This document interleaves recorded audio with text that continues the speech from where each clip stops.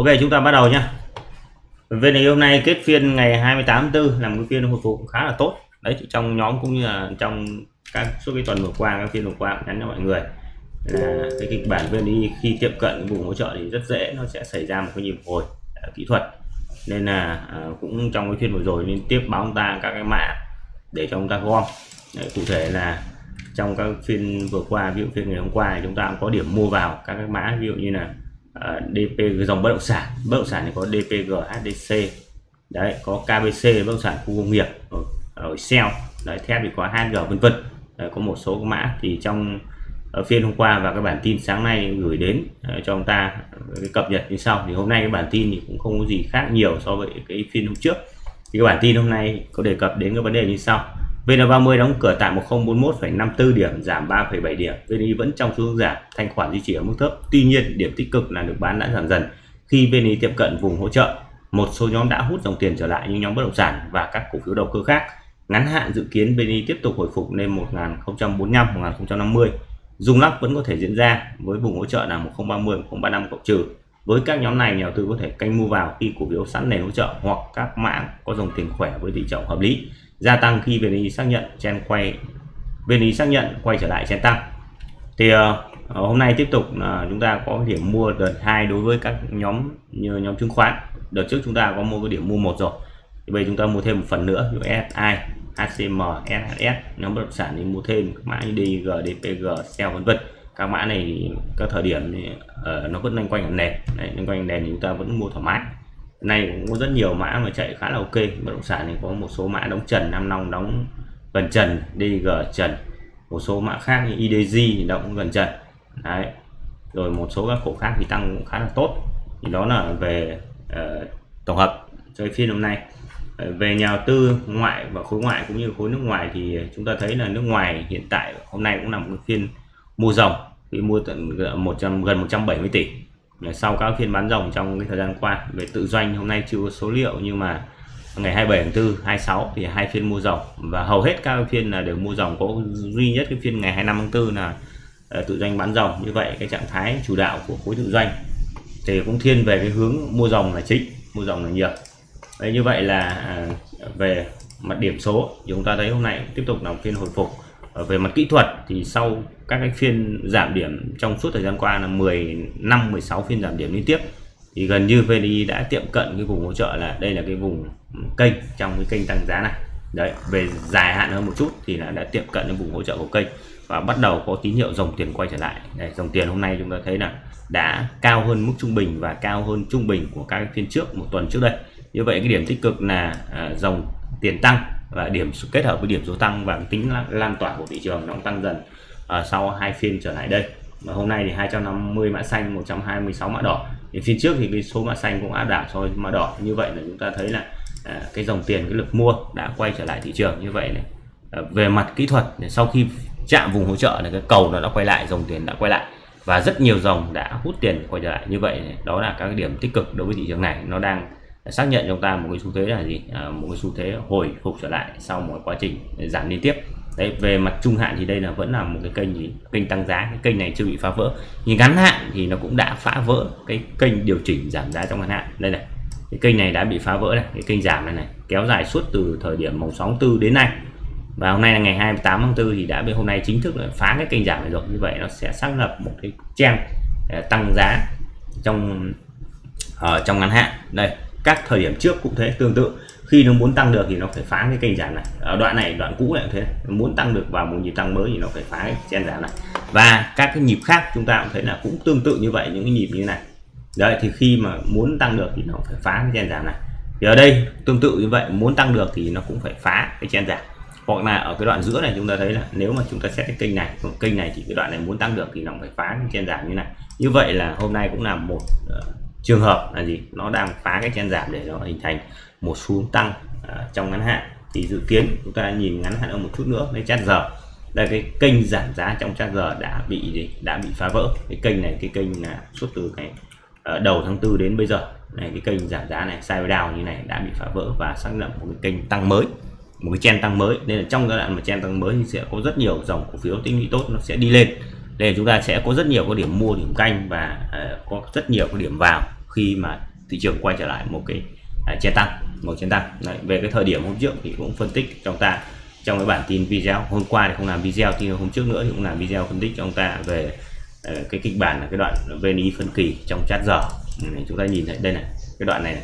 Cái đáy đáy thấp hơn đáy và đoạn này à, uh, đây nó đã gì? Đáy cao đáy. Như vậy nó mở ra cái cơ hội mua trong ngắn hạn và hôm nay nó lại tiếp tục gì? Nó phá. Nó phá cái kênh này. Thì hôm trước có dữ liệu cho chúng ta hai kịch bản. Một là gì? Một là test trở lại đây, nó quay lại đáy hai. Thì đây là điểm mua thứ nhất. Cái điểm mua thứ hai nó phá lên cho nó quay nó test như này. Thì chúng ta có điểm mua thứ hai. Như vậy chúng ta mua ở ừ, so ứng với các thời điểm báo trong các tuần vừa qua, các phiên vừa qua, chúng ta mua cả hai điểm luôn. Điểm thứ nhất chúng ta mua là chúng ta bắt ở phiên ngày hôm qua, hôm kia khi mà nó quát nó test lại đáy hai. Đây chính là cái thời điểm này này. Nó test lại test lại đây là thời điểm là đáy hai và cái điểm mà gì hôm nay có thời điểm rung lắc nó test lại như này thì cũng là cái thời điểm uh, nó test lại kênh. Đó cũng có hai thời điểm chúng ta mua vào từ hôm qua hôm nay. Có rất nhiều mã chúng ta mua. Như vừa giới thiệu cho mọi người ở đầu video. Đó.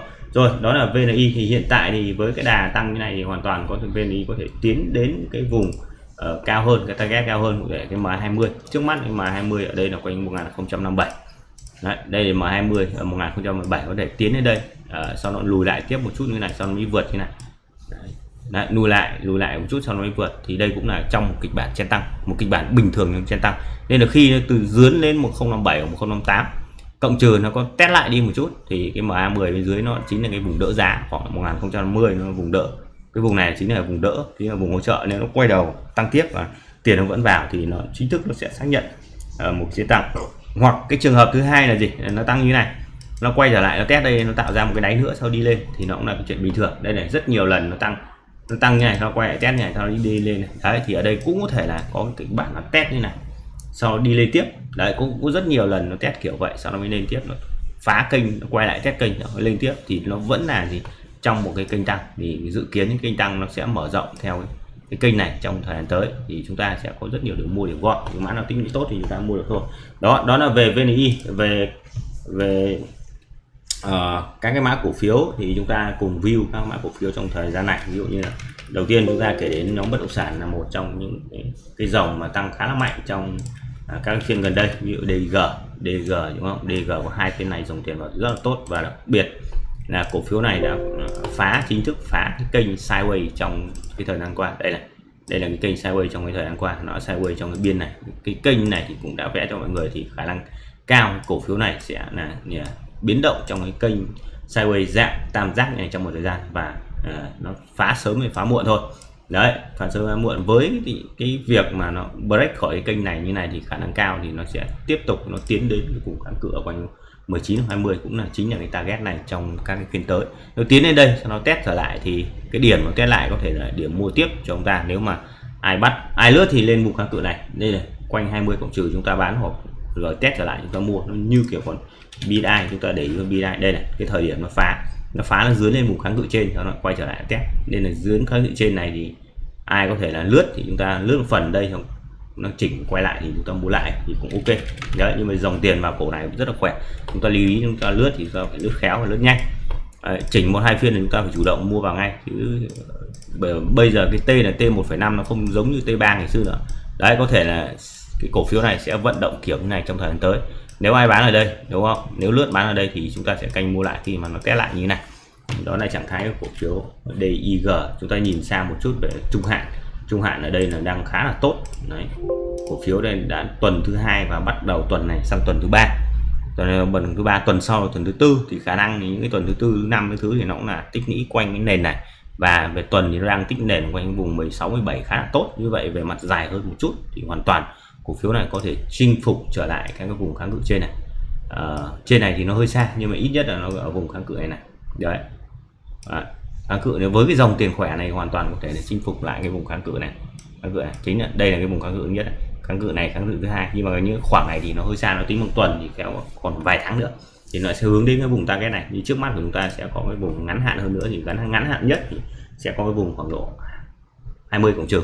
Đó đó là DIG DXG cũng tương tự DXG nhưng mà chưa vượt qua đỉnh. DIG thì vượt đỉnh rồi nhưng còn DXG chưa vượt qua đỉnh. Hôm nay cũng là một cái phiên kéo của DXG nhưng mà uh, hiện tại thì nó đang gặp cái vùng kháng cự chính những cái đỉnh cũ.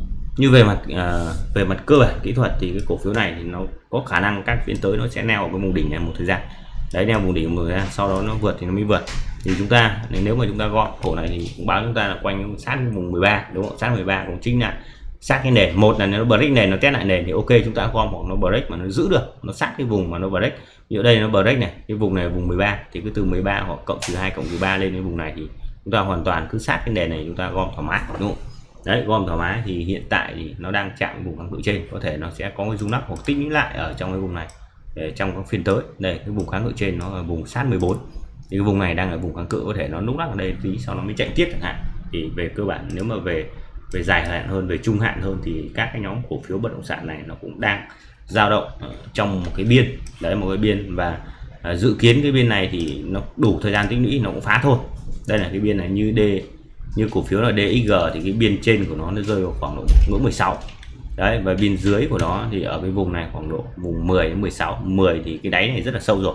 Khả năng quay trở lại test cái đáy 10 thì nó khá là thấp nó rất thấp chứ không phải khá là thấp. Đấy, khả năng đây là bởi vì nó đã có cái vùng tích lũy là quanh 12.5 cộng trừ. Đây là nếu nó có rung nắp hoặc có tích lũy thì nó chỉ tích lũy cái biên ngắn hạn quanh 14 12 năm đến 14 một thời gian thôi và khả năng break tiếp là khá là cao đối với nhóm bất động sản. Ờ, à, các cổ khác trong nhóm bất động sản như HDC HDC cũng tương tự đang neo ở vùng kháng cự đỉnh. Kháng cự đỉnh nhưng mà à, chúng ta để ý chúng ta nhìn rộng một chút thì chúng ta thấy cái chen này nó cũng chưa tăng là bao nhiêu cả đấy cái chen này của cái nhóm bất động sản này chưa tăng là bao nhiêu. Nên về cơ bản này cái chen này khi nó chạy thì nó không phải một hai giá như vậy nó có thể hoàn toàn nó chinh phục cái ngưỡng mà nó rất là cao ở trên này. Nhưng mà cái kỳ vọng đó là những kỳ vọng thể là tính bằng tháng. Tính bằng tháng nó rất là lâu. Nếu mà ai giữ thì tính bằng tháng nó rất là dài. Như về chúng ta phân tích các kịch bản ngắn hạn hơn. Đúng không? giờ hiện tại là cũng đang chạm với kháng cự nên dòng bất động sản có thể là thứ hai. À, cái phiên ờ, thứ năm tuần sau là cái phiên mà mà bắt đầu sau kỳ nghỉ lễ, đúng không? Thì có thể nó dướn tiếp, một số cổ phiếu nó sẽ chạm với vùng bất động sản và một, hai phiên đấy có thể nó sẽ có sự rung lắc ở trong cái vùng rung lắc. Tuy nhiên là chúng ta xác nhận được cái biên thì cứ rung lắc, nếu mà ai lướt thì tùy, còn không lướt thì ai chưa có chẳng hạn thì cũng có thể là canh về cái vùng rung lắc. Ví dụ cổ này nó rung lắc hoặc tinh nghĩ ở quanh vùng này, sau đó đi lên như này thì cái vùng rung lắc này là cái vùng mọi người có thể gom thoải mái. HDC thì cũng báo chúng ta một phần ở cái hôm qua. Hôm qua, hôm kia cũng báo chúng ta một phần quanh 34 này rồi, đúng không? Đấy, chúng ta thoải mái, chúng ta gom HDG tương tự HDG thế thôi, nó cũng hao hao của HDC nó cũng tương tự, không không khác gì cả. Nhìn về chen thứ chúng ta thấy là chen đấy tính lũy rất là chặt và chưa có cái giai đoạn nào, giai đoạn chạy chạy mạnh đối với cái cổ này cả. Nên nó loanh quanh quanh này này, chúng ta mua mua thoải mái. SCR thì đang cân bằng SCR cũng đang cân bằng và cũng đang uh, tiến lên cái vùng đang chạm cái vùng kháng cự này. Nên là mua thì chúng ta phải đợi. Cái điểm trực test hoặc cái điểm mà cổ phiếu test lại thì chúng ta có thể để ý đối với cổ phiếu này ở cái vùng này. Cái vùng này khoảng là 7.4 cộng trừ đó 7.4 cộng trừ đó. Các em mua thì có thể canh cái vùng đó. SCR NDG à, tuy nhiên là à, đối với các nhóm bất động sản thì hiện tại ờ, à, LDG thì nó chưa có phiên bật giống mấy cổ phiếu kia và hai nữa là cái khối lượng nó trước vẫn là khối lượng lớn ở trong các phiên điều chỉnh như này. Những cổ này thì chúng ta có thể chúng ta đợi. Chúng ta ưu tiên các cổ mà dòng tiền khỏe. Dòng tiền khỏe cái cổ chạy đầu tiên, mà break đầu tiên và cái tiền vào thì chúng ta cũng để nên để ý. Chúng ta ưu tiên các cổ đó trong cái nhóm ngành. Ưu tiên các cổ chạy trước. Một là chạy trước, hai là khỏe, cái cổ khỏe nhất trong nhóm. Cái DIG cũng là một trong cổ khá khỏe. Cái cổ này liên tiếp là nhắc chúng ta trong thời gian vừa qua, đúng không? thì đợt này dòng tiền vào khá là mạnh. DXG thì cũng ờ, hao hao, cũng tương tự. Ở sell sell thì hôm nay cũng có ờ, cái điểm bật bật của kênh. Cái điểm bật của kênh đối với cổ phiếu sell về mặt cơ bản thì cái vùng 26 này thì vẫn là đang một trong vùng kháng cự khá là mạnh đối với cổ phiếu sell ngắn hạn thì có thể là cũng chưa vượt qua ngay được. Chúng ta lưu ý, nhìn chạy thế thôi chưa vượt qua ngày đâu. Có thể lên tiếp đây, sau đó điều chỉnh tiếp thì sau đó nó chạy, nó mới chạy. Đây, nó lên như này nó điều chỉnh về đây cho nó tích lũy ở đây một thời gian như này thì nó, nó cần đủ cái thời gian hấp thụ thì nó mới chạy về sau. Nhưng về nhìn chung ờ, cái nhóm bất động sản đang là một cái nhóm mà cũng rất hút tiền. Đấy hút tiền. Nhưng mà chạy quá mạnh thì tuần sau có thể một vài phiên nó sẽ gặp rung lắc mọi người chú ý. Đó là cái nhóm bất động sản. À, cái nhóm tiếp theo chúng ta kể đến nhóm trứng thì ờ, trứng đầu tiên thì có các nhóm trứng to trứng cơ bản. Trứng to thì cũng báo chúng ta là gom tiếp đợt hai đúng không? Đợt hai thì sau khi cổ phiếu đây như HCM đánh thủng kênh mà về đây nó lại cân bằng nó hồi lại. Thì cái điểm cân bằng và điểm hồi lại thì à, gom thì vẫn có thể là chúng ta gom tiếp một phần nữa cũng được. Đấy, vì khi dòng tiền mà nó kéo các nhóm kia à, có tín hiệu chốt lời chẳng hạn thì nó có xu quay trở lại các nhóm chưa tăng. Nên là ví dụ như cổ phiếu này trong nhóm chứng to chẳng hạn thì HCM hoặc là SSI này cũng tương tự cũng đang cân bằng vùng SI như đang cân bằng vùng 21 và chúng ta thấy ở trong một tuần trở lại đây thì cái lực bán nó cũng nó kiệt đi rất là nhiều đây là ở vài tuần trước thì cái vùng này lực bán còn rất là cao còn rất là mạnh nhưng mà trong khoảng 2 tuần nay thì cái vùng này cái von bán nó thấp dần đi rồi. Và ở các cây lên như này thì bắt đầu có cái tín hiệu là dòng tiền vào. Đấy nên là đó là cái điều kiện mà chúng ta cũng có thể là canh để chúng ta mua chúng ta gom hoặc là chúng ta sở hữu các cổ phiếu khi nó test lại cái vùng hỗ trợ nền hỗ trợ. Rồi đó là SI VCI thì cũng hao hao VCI thì hôm nay cũng uh, chưa vượt nó chưa vượt cái kênh giảm nhưng mà cũng là gần vượt rồi. Với cái trạng thái này, nếu mà có test lại hoặc tích lại quanh cái vùng 31 này thì sớm muộn nó cũng vượt thôi. Một vài phiên nữa nó cũng vượt thôi. Mọi người nhìn thấy này. Đấy, cái kênh này nó chuẩn bị nó vượt cái kênh giảm rồi. Kênh giảm giá trong ngắn hạn này rồi. Nên nếu vượt cái kênh này thì nó sẽ có một cái nhịp tăng tiếp về sau. Và ở đoạn này nó không còn áp được bán như vậy. Chỉ cần dòng tiền vào cái là nó sẽ bách ngay. Con này chạy khá là khỏe. Con này một khi chạy toàn ba bốn phần trăm cả. Hôm nay cũng là một phiên mà ở VCI cũng có sức bật khá tốt. Chúng ta soi lại cái đây, ba một phần trăm phiên hôm nay các cổ khác thì loanh quanh khoảng độ hai phần trăm cộng trừ SS hai phần trăm. Đó rồi, ok thì đó là cái cổ các bạn có thể để ý. Để chúng ta xem cổ SHF S thì vùng giá là cái vùng giá 9.8 vùng 10 thì báo tiếp chúng ta gom thêm một phần nữa quanh cái vùng 10 cộng trừ. Hôm trước chúng ta gom lần một và à, nếu về đây cân bằng trở lại chúng ta hoàn toàn có thể có cái điểm một com hai.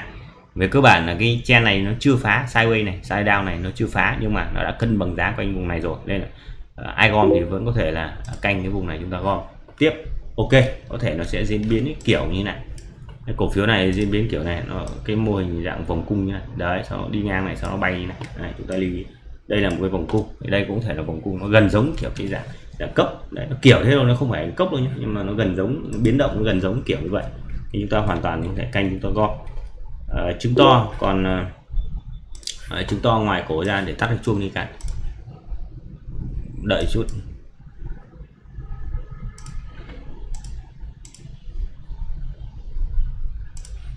Ok chứng to thì chúng ta còn ngoài các cổ ra thì chúng ta còn các cổ VND cũng là cái nhóm chứng to cũng đang cân bằng với vùng giá 14 cộng. 14 cộng này ai bắt đầu gom thì cũng gom được.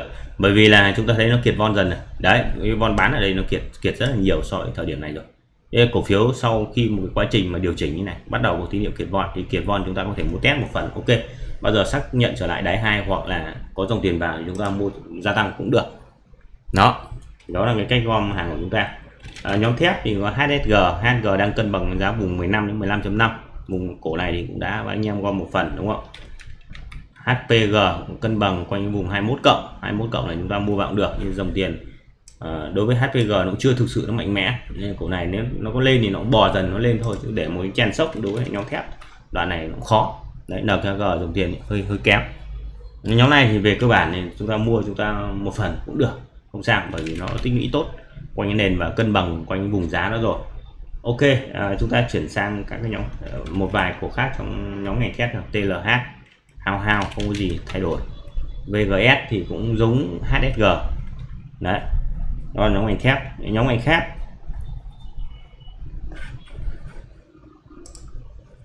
để xem nhóm người khác bất động sản khu nghiệp. Khu nghiệp thì hôm nay có uh, các phiên trước có KBC KBC đã báo chúng ta mua rồi đúng không? Mua quanh vùng giá khoảng 24 cộng ở đây. Đấy 24 25 nó đều là cái vùng giá mà mà sát cái nền hỗ trợ này. Nên là cái vùng hỗ trợ chúng ta mua được ok. Nó đây nó đánh nó hay kiểu vòng này sau nó vòng lên.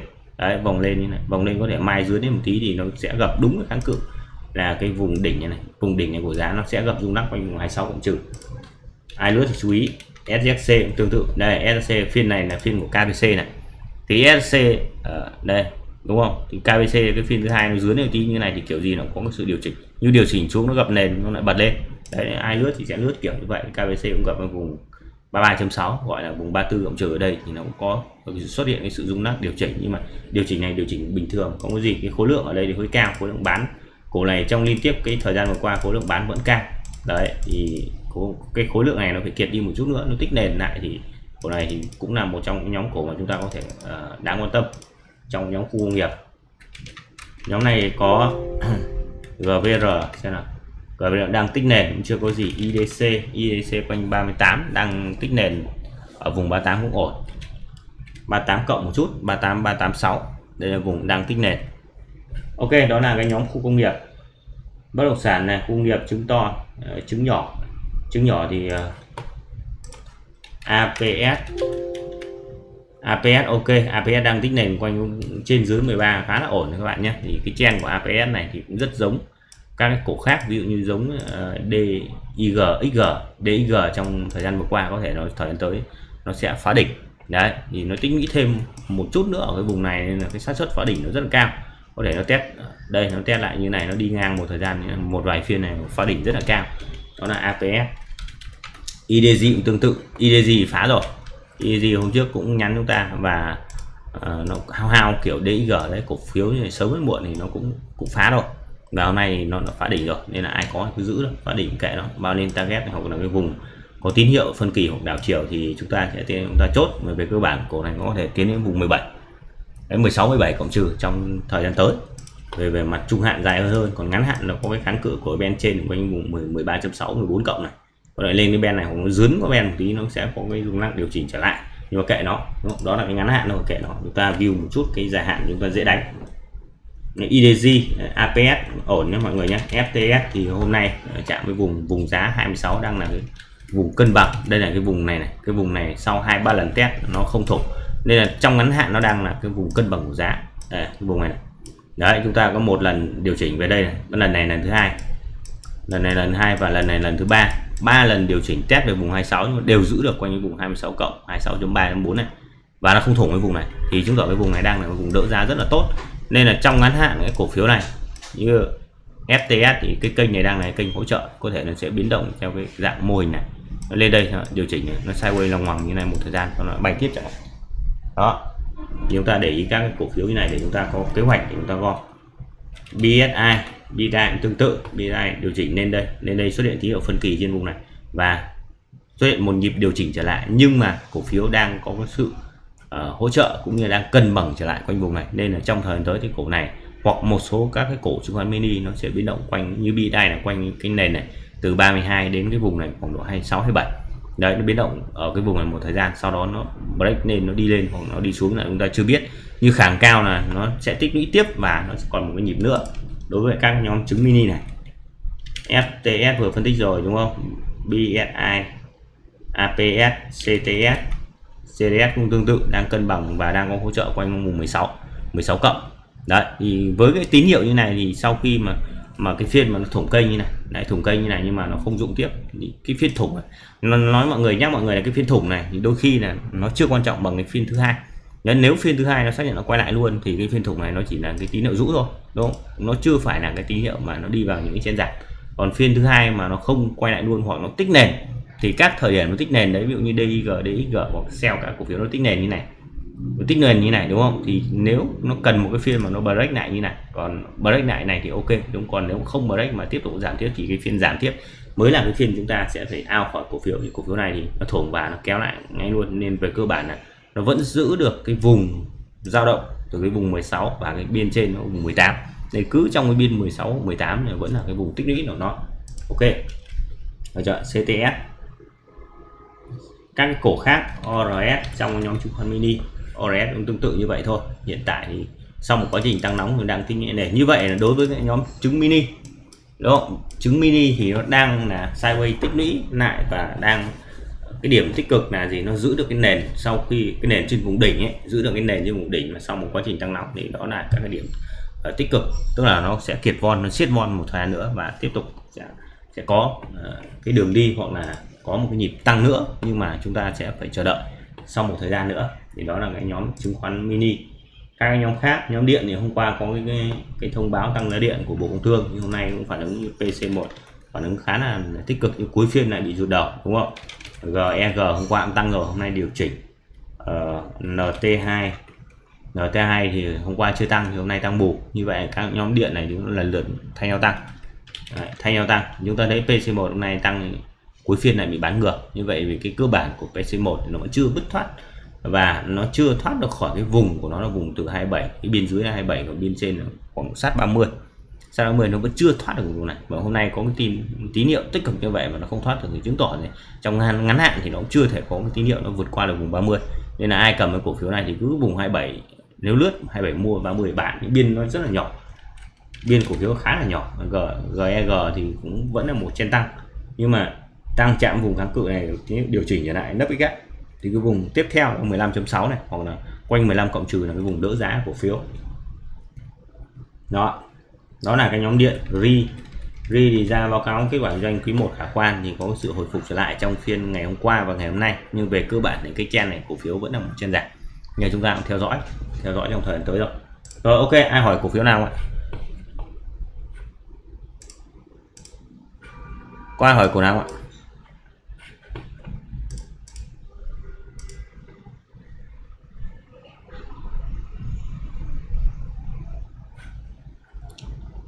Alo?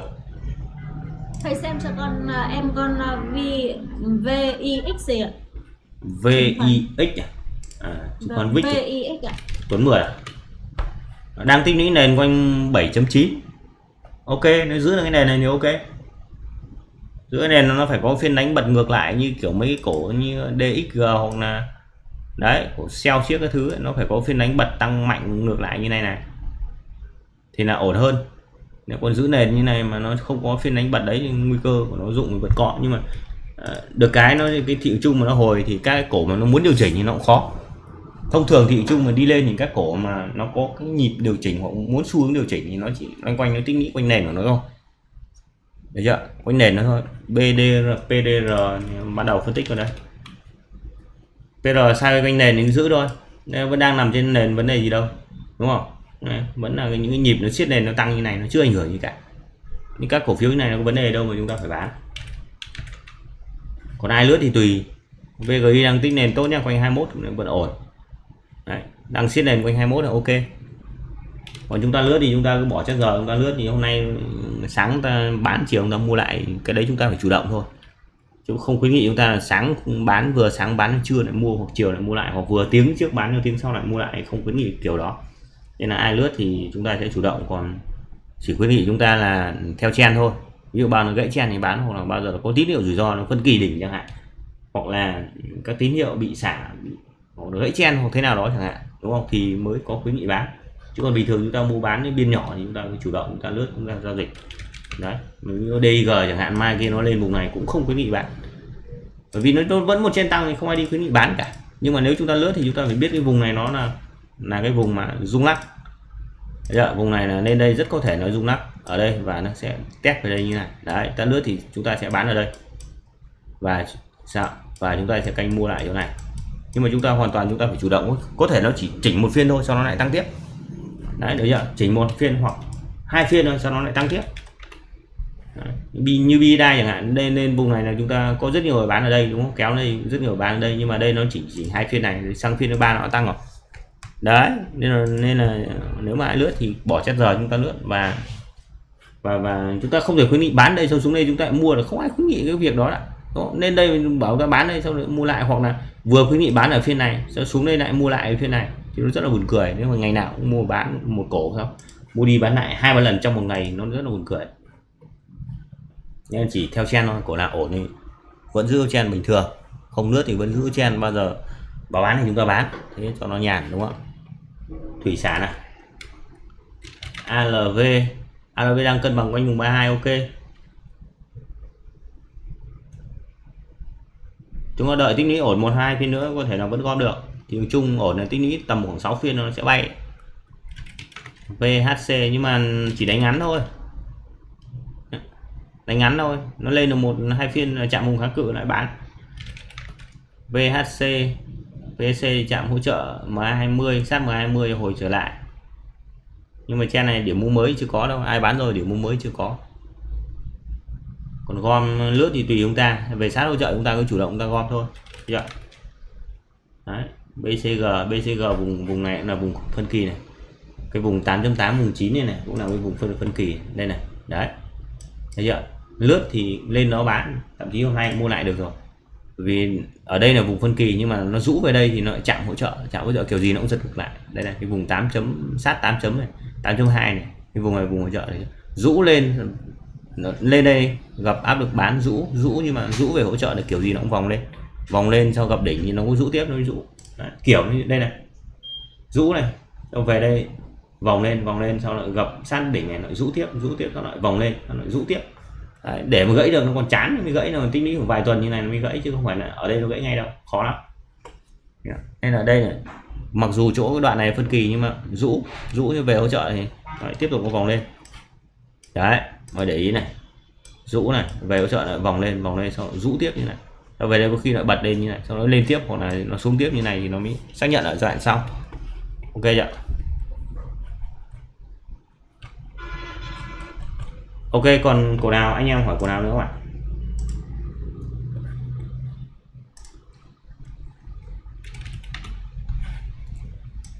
KC này tăng tốt nhỉ. phần lớn các nhóm cổ phiếu bất động sản. Ai sở hữu bất động sản giai đoạn này toàn cổ phiếu ổn đấy, đấy. Trong, phiên vừa qua khuyến nghị mọi người ầm cả toàn bất động sản. Hôm nay một loạt bất động sản. Qua chúng ta cũng có điểm mua một loạt các mã liên quan đến bất động sản này khu nghiệp thì có KBC này KBC chạy khỏe nhất trong mã khu nghiệp. Khá là ok rồi còn gì nữa đúng không? 26 tháng 4 27 28 hôm qua bản tin đây hôm qua hôm kia gì đấy đúng không?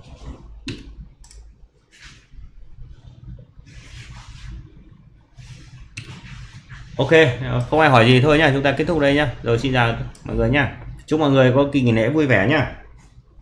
Em cảm ơn thầy ạ em chào thầy. Rồi chào anh em